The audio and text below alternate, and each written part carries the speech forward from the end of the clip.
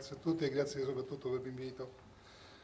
Io sono, dottor, Valente, dottor Valente lo sa, un tipo piuttosto pragmatico e cerco di spiegare per quale motivo il Ministero della Salute ha puntato su gara. Eh, la ricerca che, eh, biomedica, quella ricerca che fa il Ministero della Salute che investe circa 300 milioni di euro annui di risorse, è un, non è una ricerca così definita di base, è una ricerca di natura traslazionale. Eh, dagli anni 30, eh, anzi dagli anni 20, in Italia è nata un, un modo di concepire la medicina che era un pochettino diverso, poi vedremo adesso che è addirittura rivoluzionato quello cioè di osservare la persona per avere delle nuove idee, per poter sperimentare in laboratorio qualche cosa e per poi riportare stessa, le stesse novità direttamente poi di nuovo alla persona. È un'idea grandiosa italiana perché è nata negli anni 20 e il primo istituto che è stato creato è stato l'Istituto Tumori di Milano, poi anche qui a Roma Regina Elena e poi sono seguiti una serie di altri istituti.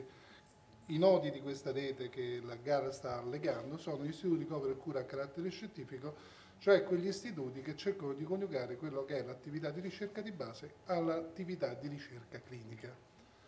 In realtà come definizione si parla di ricerca traslazionale o di medicina traslazionale, proprio per collegare, è un fatto diciamo, piuttosto filosofico perché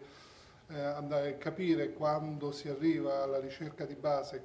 quando ci si trova alla ricerca di base e quando si arriva alla ricerca clinica è un elemento piuttosto difficile.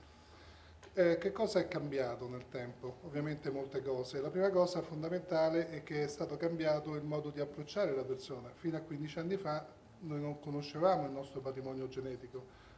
anzi quando abbiamo scoperto il nostro patrimonio genetico e l'abbiamo del tutto sequenziato pensavamo che avesse scoperto tutto, invece siamo scorti che l'ipigenomica ci aveva detto che c'era qualcosa di più.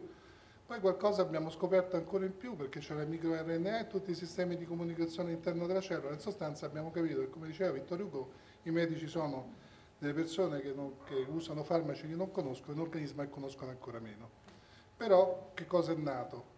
È nata la necessità di avere grandi banche dati di conoscenza. Cioè fare l'analisi genomica, soprattutto vedere quali sono le mutazioni per alcuni tipi di tumore o per alcuni tipi di patologie o per capire se c'è una componenza genomica per la fusione di certe malattie o per capire quali sono i mediatori che sono quelli che legano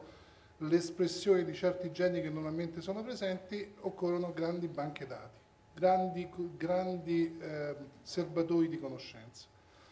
Ma non solo questo, ma immaginate a tutti quelli che sono legati all'imaging, cioè la risonanza magnetica, tutti quelli che hanno una malattia rara, immagini di questa malattia non ce ne sono, quindi se la malattia è rara possono essere più soggetti che hanno fatto questo tipo di attività e possono mettere in comune questo tipo di eh, informazione e avere anche una sorta di immagini che è l'evoluzione di questo tipo di malattia dal momento che inizia ed è eh, asintomatica fino al momento in cui arriva e diventa di tipo patologico. Quindi è necessario, avendo eh, diversi serbatoi che però sono dispersi sul territorio nazionale e internazionale, anche a livello estero, poter collegare questi, questi serbatoi e quindi creare quelle che sono le infrastrutture. Le infrastrutture sono per necessariamente legate, eh,